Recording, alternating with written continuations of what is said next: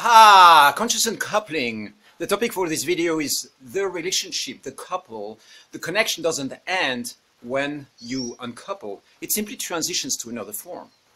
You are still relating to somebody.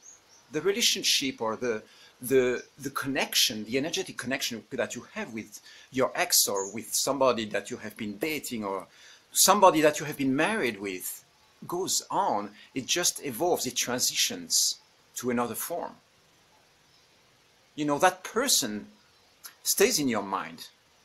They stay there because they are embodied in your past. They are embedded in the neural pathways that you have, the emotional associations that you have with places, with situations. So they stay active in your field, more or less, you know, sometimes more than, than others.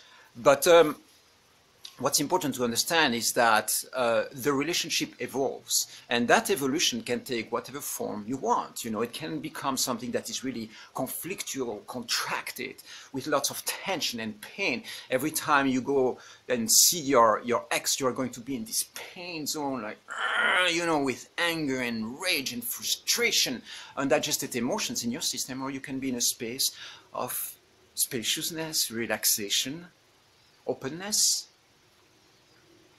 the relationship doesn't end, it doesn't die, it just evolves a new transition. And sometimes you might love your ex even more than when you were together.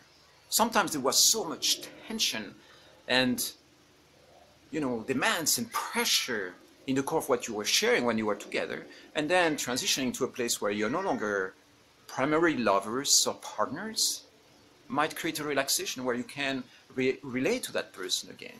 You know, you might end up working together, or you might end up sharing intimacy and sensuality in a way that is now sustainable and fun and healthy.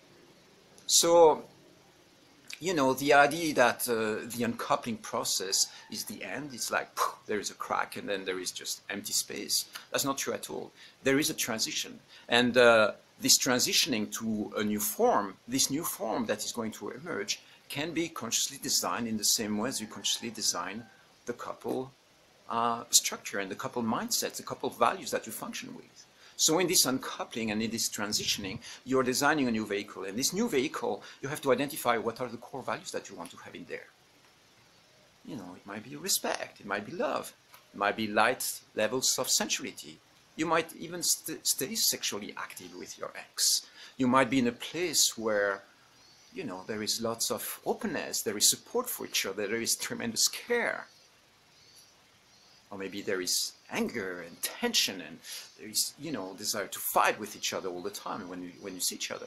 But the point is that that new vehicle that you start designing when you are uncoupling is something that you can do really consciously. It's really good to keep that in mind. I love you.